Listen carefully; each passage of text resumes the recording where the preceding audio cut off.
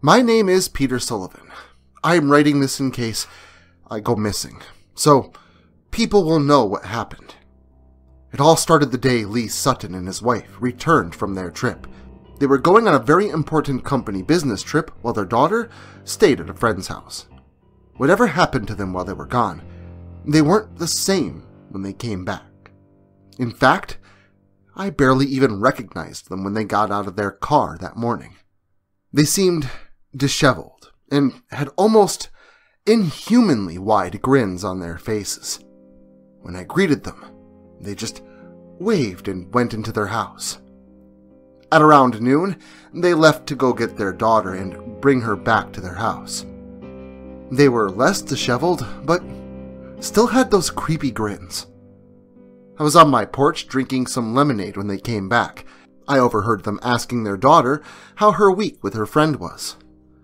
Their voices were normal, but the way they were speaking was off, hollow almost.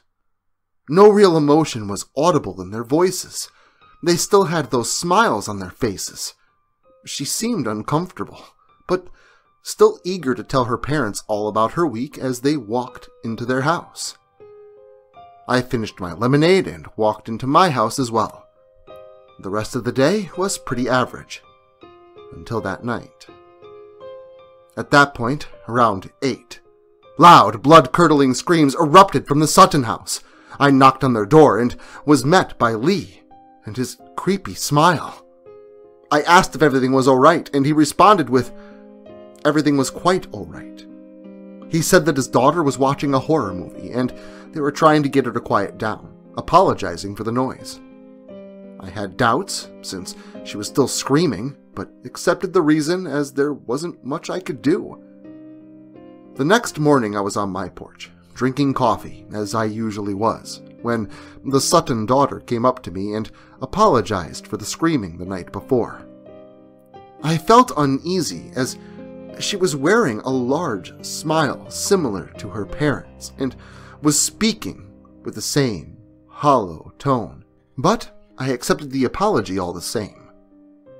That night, there was yelling again, but not from the Sutton household.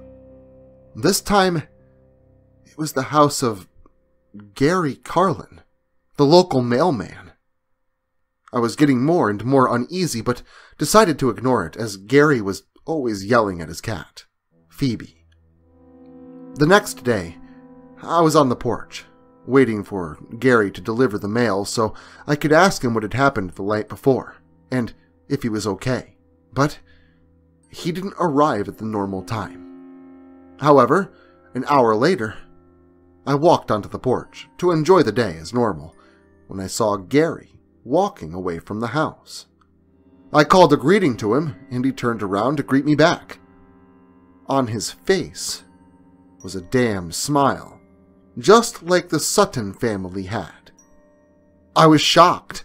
Why the hell was everyone smiling like that? I wondered to myself. Is it some kind of trend that I haven't heard of? Well, I looked it up and couldn't find anything about it, so I made a vow to myself to find out what was going on. Luckily, the rest of the day went on without a hitch. However, that night, I was on my porch smoking a cigarette when I saw the Sutton family leave their house. At first, I thought they were going on a trip or something, but they never even went near their driveway. Instead, they started walking down the street. I decided to sneakily follow them, and I was soon led to the house of Henry McMillan and his family. I watched as they slowly and quietly opened the door and snuck in. I know I should have called the cops, but I decided was going to solve this mystery myself. I waited three minutes and snuck in. I watched as the Sutton family injected the now tied up McMillans with a brown, slimy looking substance in a syringe, and they began to scream. The McMillans continued to scream in what I now realized was fear and pain as their skin and hair began to fall off in chunks. Underneath, there was new skin, though. As the skin around their lips and mouth fell off, I saw that underneath was a giant, toothy grin, just like the others. I watched until the skin was all off and the Sutton family untied the McMillans. I started to quietly back away, but then I stepped on a floorboard wrong, and it made a loud creak. All the whatever they were in the house looked up and saw me. I started to run, and I could hear them chasing me. Luckily for me, I'd always been good at cardio, so I managed to get in my car and drive away.